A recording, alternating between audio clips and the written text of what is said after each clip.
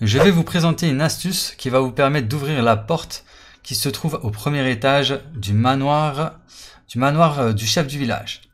Donc pour euh, ouvrir cette porte, il vous faudra la bille de cristal qui se trouve au rez-de-chaussée dans une armoire. Donc dès que vous avez cette bille, vous l'insérez dans la porte.